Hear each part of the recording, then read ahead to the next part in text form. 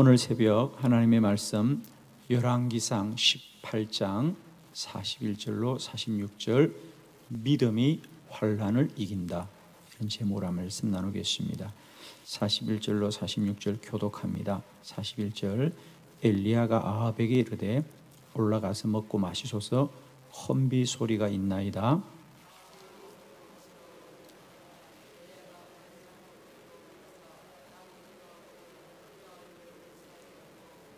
그의 사환에게 이르되 올라가 바다 쪽을 바라보라. 그가 올라가 바라보고 말하되 아무것도 없나이다. 이르되 일곱 번까지 다시 가라.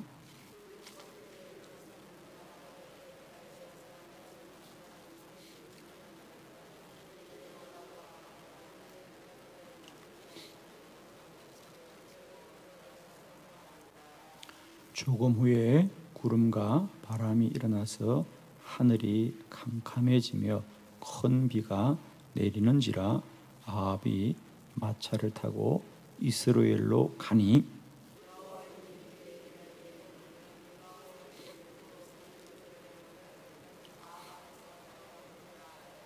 아멘. 어, 저희가 어, 이 비상 기도회를 어, 시작하면서 매일 새벽 어, 열왕기상 17장부터 시작하는 어, 엘리야 어, 시리즈 설교를 하고 있습니다. 오늘이 아홉 번째 새벽입니다. 오늘 아홉 번째 새벽 믿음이 환란을 이긴다. 이 환란을 무엇이 이기느냐? 믿음이 환란을 이깁니다. 엘리야의 시대 환란의 시대였습니다. 그들이 하나님을 떠나 우상을 섬기고 그래서 하나님이 그 나라에 3년 6개월 동안 비를 내리지 않고 비를 내리지 않자 온 땅이 고통을 당하고 어려움을 당하였습니다. 결국 문제의 근원은 뭐냐? 하나님을 떠난 것입니다. 그럼 문제 해결의 길은 뭐냐? 하나님께로 돌아가는 것입니다. 지금 이스라엘 백성들이 겪는 고통은 비가 내리지 않고 물이 없고 어, 그래서 고통을 당하고 있지만 그 모든 환란의 근원은 하나님을 떠난 것이었고 그러면 이 문제를 해결하는 길은 물을 찾고 우물을 파는 것이 아니라 하나님께로 돌아가야 되는 것이다. 믿음이 회복되어야 되는 것이다.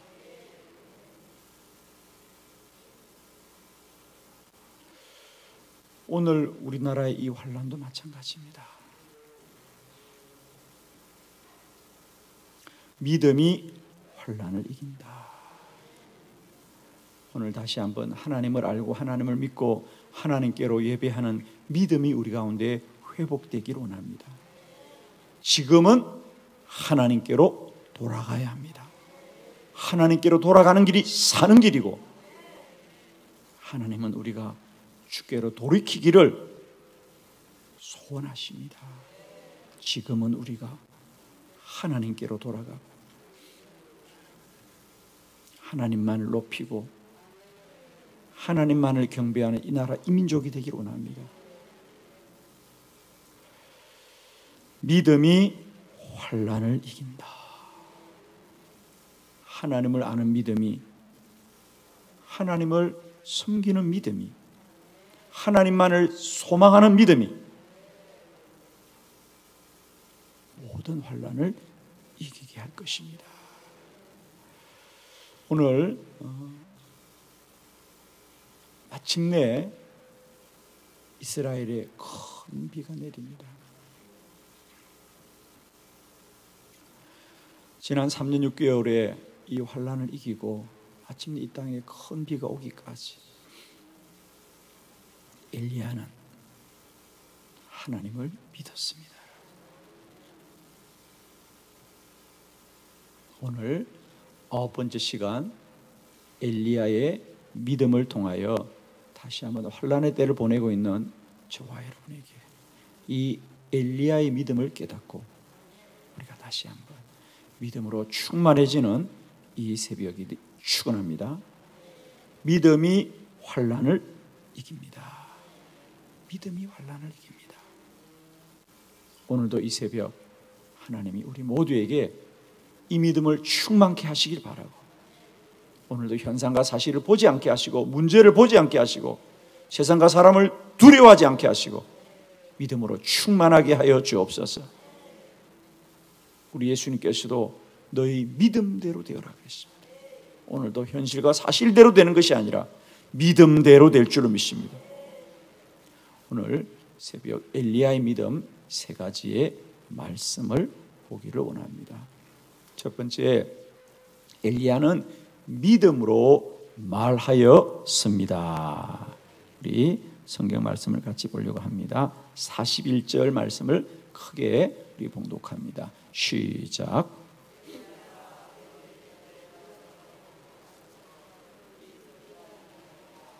아멘. 이제 엘리야가 아합 왕을 만납니다. 왕이 이렇게 말합니다. 왕이여, 이제 궁전으로 돌아가서 걱정하지 마시고 먹고 마시소서. 이제 걱정하지 말라는 거죠. 그리고 궁전으로 편히 돌아가십시오. 왜냐하면 큰 비 소리가 있나이다. 큰 비 소리가 있나이다. 그래서 어, 다른 번역 성경을 보면 내 귀로 비가 내리는 소리를 들었습니다. 이런 번역입니다. 큰 비 소리가 있나이다. 비 소리가 들린다는 겁니다. 이 새벽 여러분에게 큰 비 소리가 들리기를 축원합니다. 실상은 아직 비가 오지 않은 거죠, 그죠? 아직은 비가 오지 않습니다. 비가 아직은 내리는 게 아니에요. 그런데 엘리야의 믿음 속에 이미 비가 내리고 있었습니다. 하나님의 사람들은 언제나 세상 사람들보다 먼저 앞서 믿음으로 하는 자들이에요.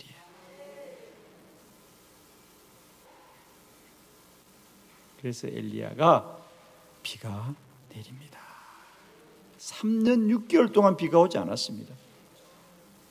지금도 현실과 사실은 비가 올 가능성이 보이지 않습니다. 왕은 지난, 지난 3년 6개월 동안 나라 구석구석을 다니면서 물의 근원을 찾고 내를 찾았다고 그랬습니다. 어디 물이 있을까? 어디 물이 있을까? 그러나 사람이 우물은 찾을 수 있고 물이 흐르던 시내는 찾을 수 있지만 그곳에 물을 흐르게 하시는 분은 하나님이십니다. 그런데 엘리야가 이제 그 왕에게 말하는 거예요. 왕이여 이제 염려치 마시고 궁전으로 돌아가십시오. 마침내 큰 비 소리가 있나이다. 비가 있는 게 아니라 비가 내리는 소리가 들린다는 거죠. 여러분, 모든 사물은 소리가 먼저 있다.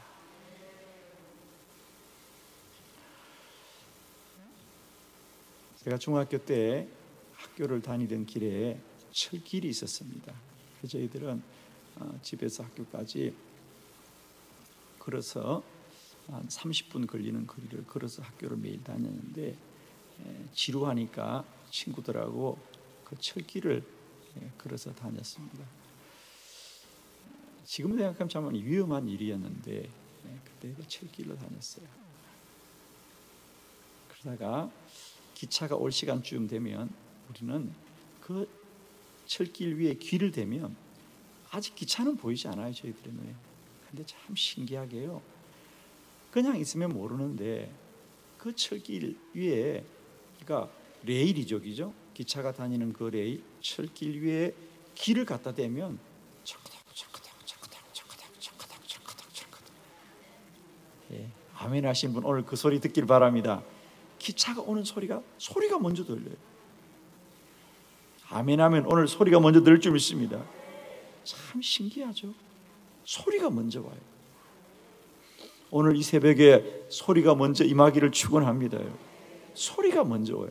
그 소리가 오면 반드시 실체가 옵니다. 사실이 옵니다.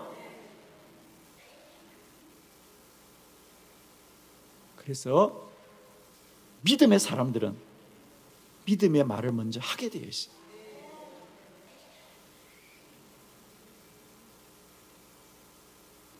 일리아는 그래서 사실의 말을 한 게 아니에요. 비가 온다고 말하지 않고 비 소리가 있나이다. 저는 이 말씀을 보면서 그래 엘리야는 비가 올 줄을 믿었구나. 그리고 믿음으로 얘기하는 거예요. 그것도 다른 사람이 아니라 왕 앞에서. 왕 앞에서. 왕이요. 비가 옵니다가 아니고 뭡니까? 비 소리가 있나야 되는 거예요. 비가 온다 그러면 눈으로 눈으로 볼 수 있는데 비가 옵니다가 아니라 비가 내리는 소리가 있나이다. 사랑하는 성도 여러분, 환란의 때는 믿음으로 말해야 됩니다. 이 신종 코로나 바이러스가 소멸됩니다. 떠나갑니다. 나라가 안정화될 것이에요. 모든 게 회복될 것이에요. 사랑하는 성도 여러분, 고난과 환란을 당할 때마다 세상과 사람은 우리를 어렵게 할지라도 환란을 이기는 사람은 믿음의 말을 하자. 말에는 능력이 있습니다. 말에는 능력이 있어요. 그리고 우리는 말한 대로 구속을 받습니다. 여러분, 사람의 인생은 그래요. 우리가 이 병에 물이 있습니다. 이 병의 물은, 물은 똑같아요. 이 물은 네모진 그릇에 담으면 네모진 모습이 될 것이고, 세모진 그릇에 담으면 세모진 이렇게 병에 담으면 원형이 되듯이, 물은 그 담는 그릇에 따라서 모양이 만들어지듯이, 우리 인생은 말이라고 하는 그릇에 따라서 그 인생이 만들어지는 거예요. 복된 말을 하는 자는 복된 인생으로 살아갈 것이에요, 여러분. 믿음이 환란을 이긴다. 이 환란의 때 먼저 믿음으로 말하고 이 환란의 때 먼저 믿음으로 선포하고 이 환란의 때 먼저 믿음으로 고백합시다. 하나님이 하실 것입니다. 문제가 해결될 것입니다. 더 잘 될 것입니다. 사랑하는 성도 여러분, 이 환란의 때 우리가 얼마나 어렵습니까 지금? 정말 정말 어렵습니다. 아마 여러분도 마찬가지일 거예요. 우선 우리가 신문을 보기가 겁이 나요, 그죠? 또 무슨 일이 났을까? 어? 뉴스 듣기가 겁이 나요. 너무 힘들고 어려운 데를 살지만 사실이 뉴스가 소식이 환란을 이긴 것이 아니라 이 현실 앞에서도 여전히 믿음으로 말하는 자들 3년 6개월 동안 메마른 땅에 큰 비 소리가 있다고 선포하는 엘리야의 믿음이 그 환란의 시대를 이기는 것처럼 오늘도 주의 사람들은 믿음으로 말하자. 믿음으로 말하자. 여러분, 이 신종 코로나 바이러스가 다 소멸될 줄 믿습니다. 떠나갈 줄 믿습니다. 치료의 길이 열릴 줄 믿고 모든 환란을 이 민족은 반드시 기도로 이길 것입니다. 축복합니다. 이제 우리 살아난 날들 동안 믿음의 말을 하자. 사실의 말을 하지 마십시오. 안 된다고 말하지 마십시오. 하나님이 하십니다. 믿음의 말이 환란을 이길 것이에요. 오늘도 우리가 눈으로 보고 귀로 듣는 것은 아픔과 안타까운 소식 소식이지만 우리는 언제나 믿음의 말을 하자. 믿음이 환란을 이깁니다. 두 번째 말씀을 보겠습니다. 엘리야는 믿음으로 기도하였습니다. 44절 말씀입니다. 다 같이 시작.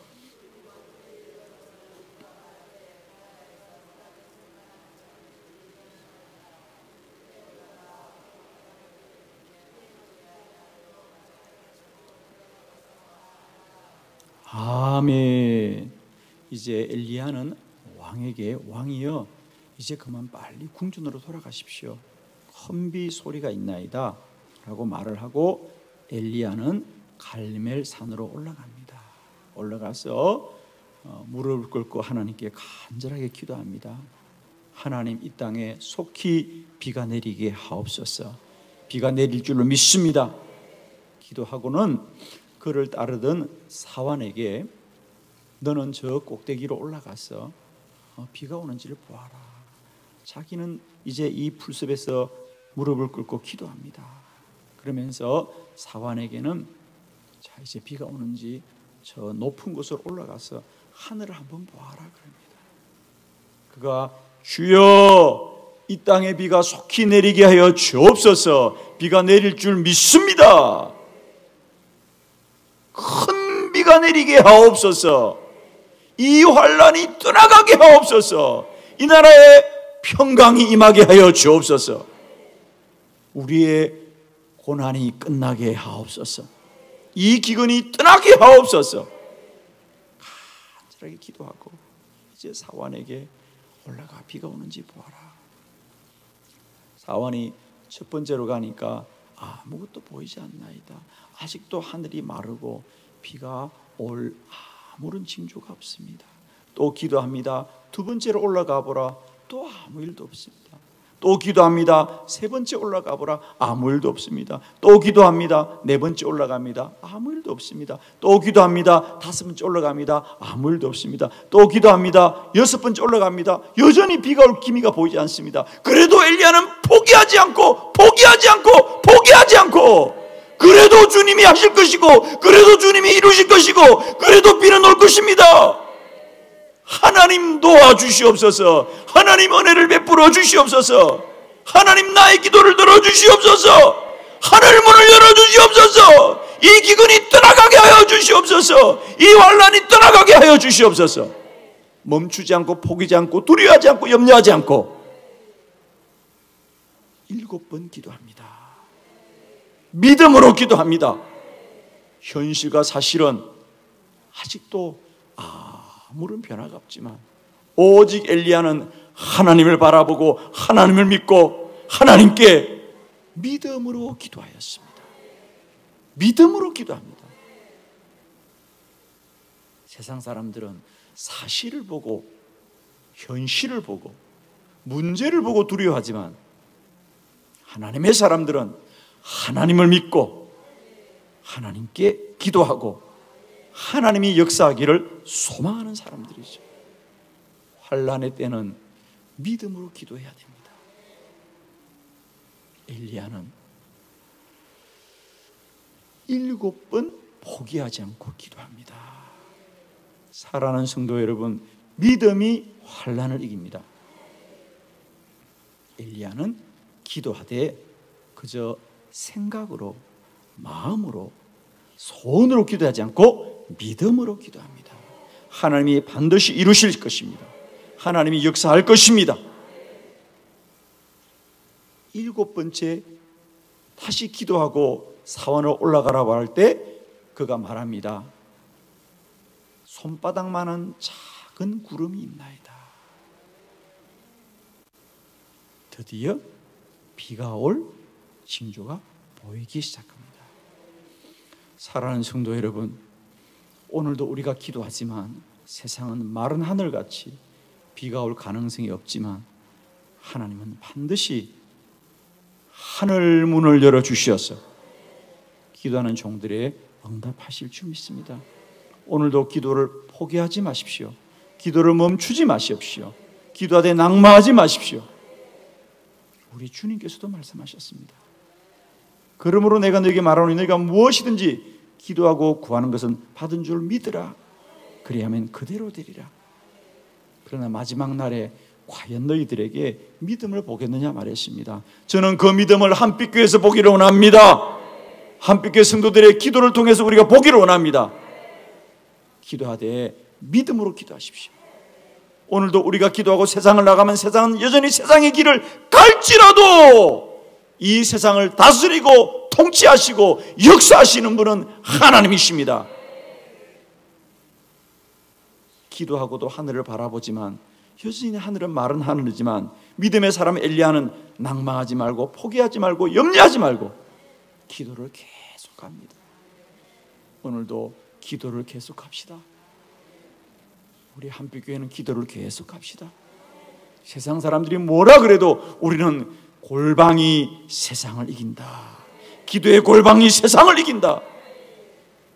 기도의 골방은 세상에서 가장 작은 방이지만 그 작은 방에서 기도하는 사람들이 큰 세상을 움직입니다. 넓은 세상을 움직입니다. 문제 많은 세상을 기도의 골방이 이깁니다. 오늘도 믿음이 환란을 이깁니다. 오늘도 우리가 기도하되 믿음으로 기도합시다. 일곱 번에 일곱 번이라도 믿음으로 기도합시다. 세 번째 말씀을 보겠습니다. 믿음대로 되었습니다. 45절 말씀 우리 믿음으로 크게 합독합니다. 시작.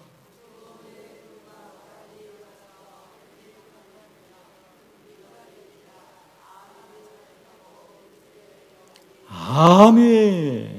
드디어 조금 후에 구름과 바람이 일어나서 하늘이 캄캄해지며 큰 비가 내리는지라. 아멘. 주여 오늘도 이 땅에 큰 비가 내리게 하여 주셔서 코로나 바이러스가 다 씻겨지게 하여 주시고 떠나가게 하여 주시옵시고 사라지게 하여 주옵소서. 하나님이 하시면 그리 하실 줄 믿습니다. 세상 사람들은 세상의 가능성과 세상의 희망을 소망하지만 믿음의 사람들은 하나님을 소망합니다. 하나님 일하실 걸 기대합니다. 믿음대로 되었습니다. 우리 주님께서 언제나 그러셨습니다. 너의 믿음대로 되어라. 너의 믿음대로 되어라. 너의 믿음대로 되어라. 믿음이 환란을 이깁니다. 우리의 사실과 우리의 현실이 어떠할지라도 믿음으로 말하고 믿음으로 기도하는 사람들은 믿음대로 될 줄로 믿습니다.